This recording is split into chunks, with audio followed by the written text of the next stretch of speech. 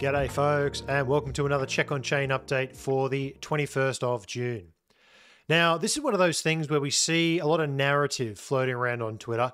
Uh, lots of people are wondering how the Bitcoin price continues to chop around this range. Uh, we've gone through a process where people are looking at all the short sellers, and more than likely, a decent chunk of that's going to be cash and carry trades. And now, the latest narrative I've seen is that the Bitcoin miners are the ones suppressing the prices.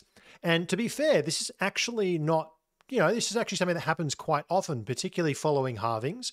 Miners build up treasuries of BTC and following halvings, I mean, they, they need a treasury of Bitcoin to get them through the bad times. They acquire the coins in the good times and they use it to actually survive during these fairly tumultuous periods, such as when their block subsidy gets cut in half. So today I want to ex- actually explore the miner capitulation that is currently underway, size it up, get a bit of a gauge on how big it is, and really assess are the miners really suppressing the price, or is this another narrative that we can essentially put on the side? So the months following a Bitcoin halving very often are a point of stress. And we have a series of tools available for miners so we can actually assess when they're in periods of stress. Um, so you may have seen the, the hash ribbons, which you can see on the uh, right-hand side here. And there's a few other tools that we can look at. So what we're going to look at is miner revenues in a pre and post halving world and just really assessing the magnitude of this thing. We're going to have a look at the hash ribbon inversion signal. So this is all going to be part of the part one of this video, where we go over the magnitude, the scope, the scale of what's actually going on with miners. Now, if you head over to our Substack, this is where you'll be able to access the full report, both a written version and part two, where we're actually going to go into the full deep dive and understand are miners actually suppressing the price? And I want to explore this from a few different angles. We're going to look at the actual balance held by certain miners. And in particular, there's another group of miners who are actually not active anymore. They fall into the bucket called other. These are miners who used to mine, and most of these used to mine back when Bitcoin was much, much cheaper. So you can kind of think about these guys as ancient whales. They've been around for a long time. And strangely enough, they actually sell quite a bit of coin when the market enters a bull market phase. And we saw this in 2021, and we have seen this again into the ETF. So we're going to explore that particular cohort and really make a pretty decent assessment of whether the miners right now, the sell side coming from them is a reason why the market is struggling. And further to that, are we expecting it to continue? Now, if you're watching this on YouTube, please do give us a thumbs up, a like, a share, and a subscribe. It really does help this channel get to more people. Um, let me know if you enjoy this content. I mean, we get a lot of these types of narratives and questions. In fact, if you do have questions about the market, make sure you let me know because I find this kind of stuff fascinating. It gives me something, something to really explore and deep dive into. But uh, today, let's have a look at the miners and let's see whether they are indeed suppressing the Bitcoin price.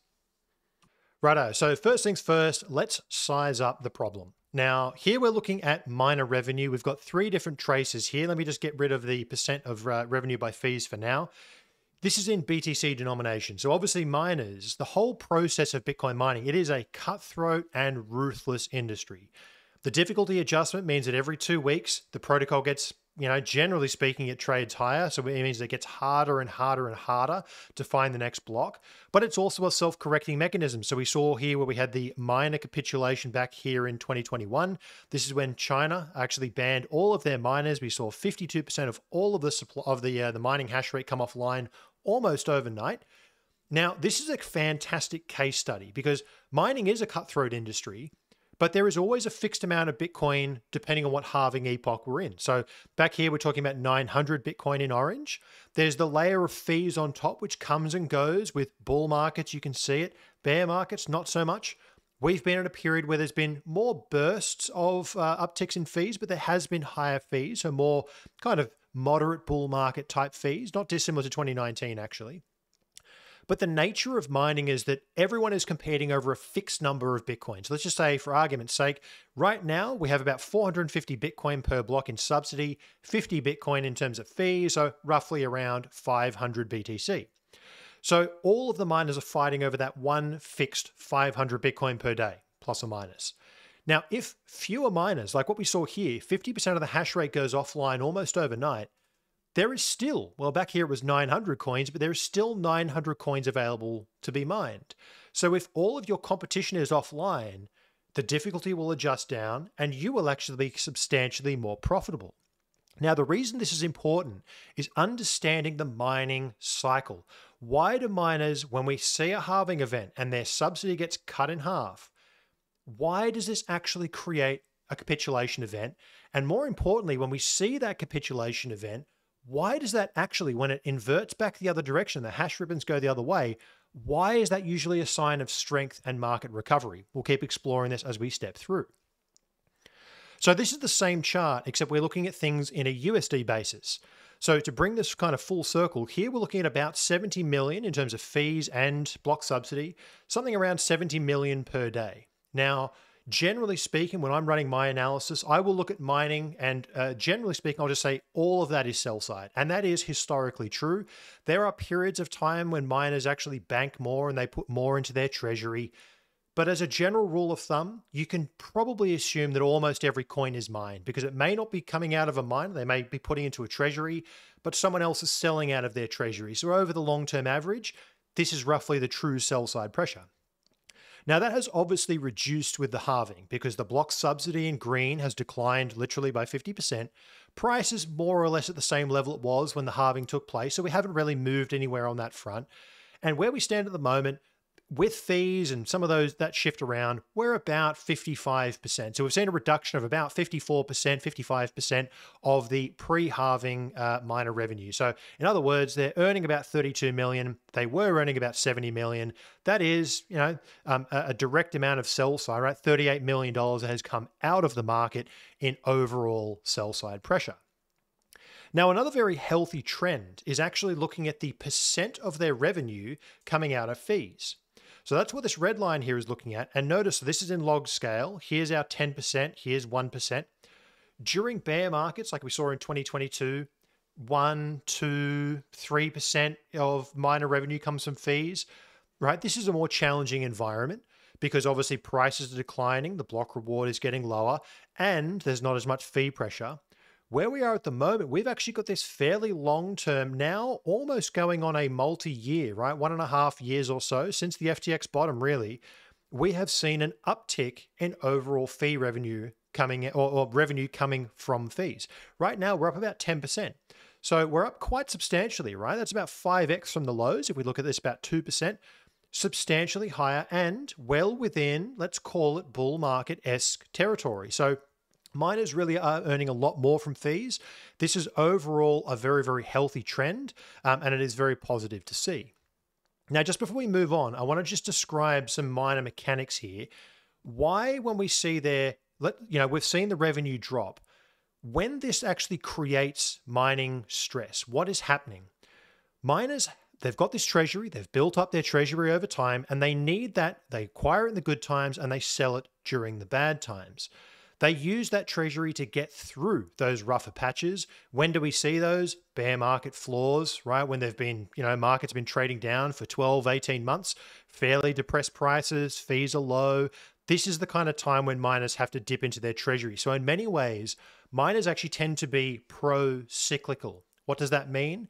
It means that at the bottom, at the absolute worst phase of the bear, that's usually when miners are actually exerting additional sell side pressure. They lean on the market when it least needs it. Now, halving events, they're generally the other side of the equation. We're usually in some kind of a recovery or an uptrend, right? 2020, it was right before a bull market. Here we are in April, we're, you know, a stone's throw from setting the new all time high. So seeing a halving event occur here may not be such a problem, but you have to remember hash rate and the competition to mine those blocks is constantly climbing. And we'll come and look at hash rate in just a second. So you've got to factor in as a miner not only what is the aggregate revenue available, but how many people are fighting over it. And that's what makes mining such a cutthroat industry. Now, the Puell multiple is a crowd favorite, one of the oldest on chain metrics, um, and it's actually a very, very simple construction. It's essentially looking at in the numerator, it's a ratio. In the numerator, we have the miner revenue. So actually that USD chart that we saw in the previous. And then in the denominator, we've got the one year moving average of that revenue. So why do we do this? And actually, you'll see we use this concept of a multiple, right? Some eh, some indicator divided by its one year average, something on that ballpark. We actually use that quite a bit in the world of Bitcoin analysis because it's actually a very interesting and useful heuristic. What we're doing is comparing miner revenue to itself. but we're comparing it to its longer term baseline. And this is really powerful because miners are longer term thinking. So imagine yourself in your job, your business, whatever it is. Right now, we're at 0.75 post halving.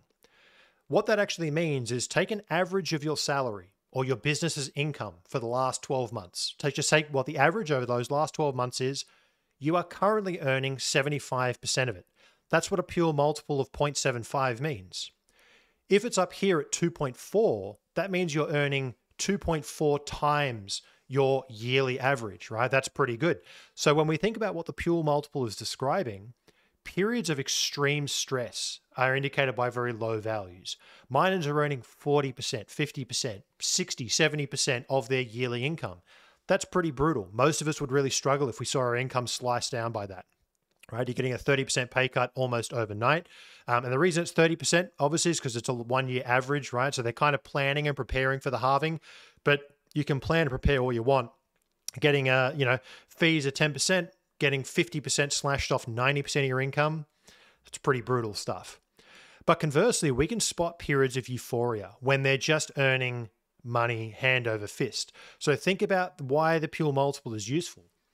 Both extremes to the upside and extremes to the downside indicate when miners are likely to sell.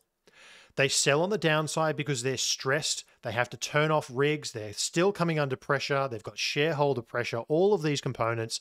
Market's down. No one knows when the bear market's going to end. They have to sell the coins they acquired in the good time to survive the bad time. In the other uh, converse, when we're in a bull market, they have to sell because they're mining right? Here we are at a Puell multiple of 6.6.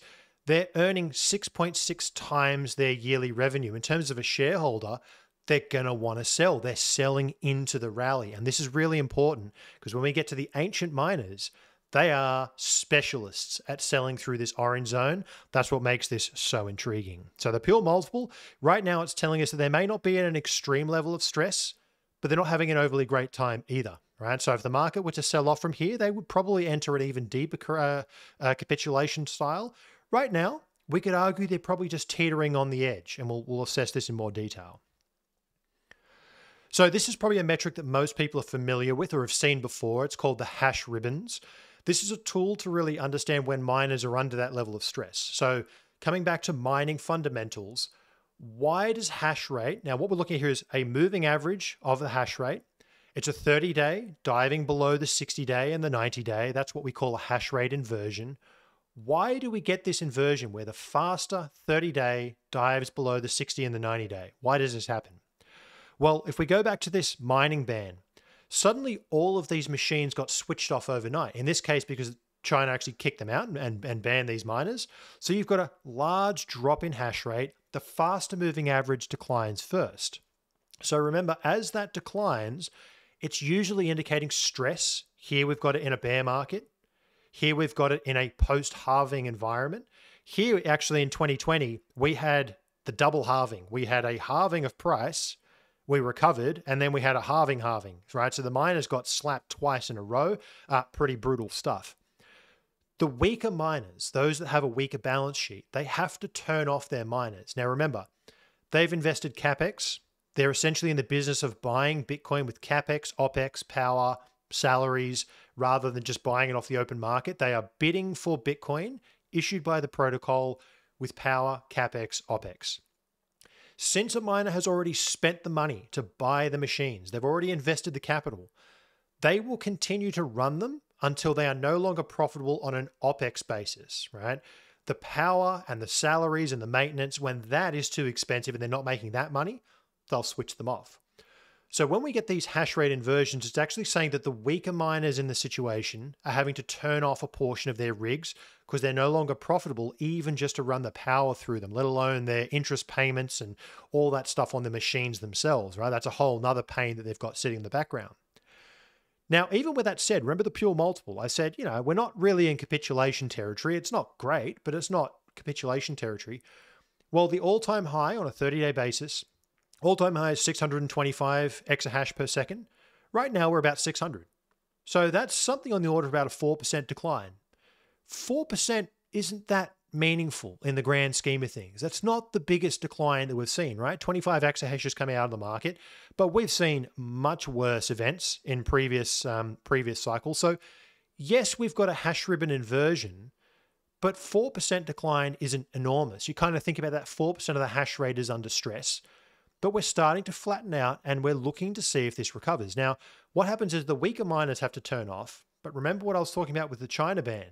If your competition switches off their rigs, but you're able to keep plugging away, you're going to start earning more of that fixed 450 plus 50 Bitcoin, that fixed reward you are going to continue to earn more of that because your hash rate is still online. And this is what actually creates this initial treasury sell pressure. Once it stops, we generally get an uplift because the miners relieve their sell pressure overall, which gives the market a little bit of relief. Now, there's another tool which is a little bit more funky to explore this concept of, uh, of you know miner stress or miner capitulation, and it's called the mining pulse. And this was actually invented by my good friend Permabull Nino uh, many years ago. What I've overlaid here in the red is the hash ribbon inversion. So every time that the hash ribbons are inverted, that will show up here as these red lines. And it's really just to show you the confluence. It's describing the same thing. So the mining pulse, which is this orange line here, let me turn off the core mining pulse on a 30 day moving average, what we're looking at is the deviation of block time, right? Are blocks coming in faster, positive numbers, or slower, negative numbers than the 600 second average, 10 minutes? So right now, you can see that we're in a period of hash ribbon inversion and blocks are coming in about 14 seconds slower than they should do. That's telling you that there's less hash rate online. Blocks are being found slightly slower. And as a result, this is about 2.5% slower. So if we think about the scale of this mining capitulation, 4% to 2.5%, so let's just be really generous and say about 5% of the mining hash rate is struggling at the moment. 5% isn't enormous.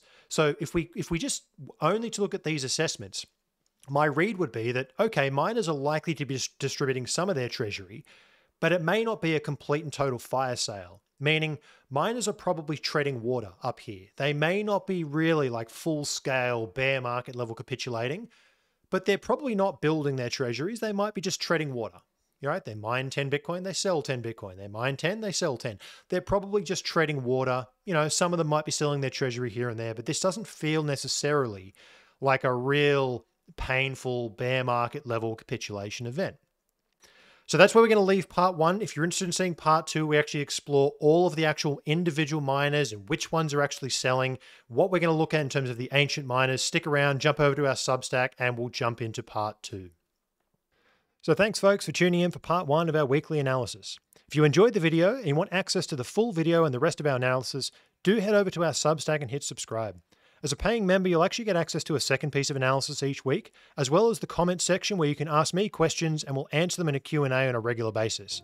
So thank you so much for all of your support. We hope you enjoyed it, and we'll see you in the next one. Cheers.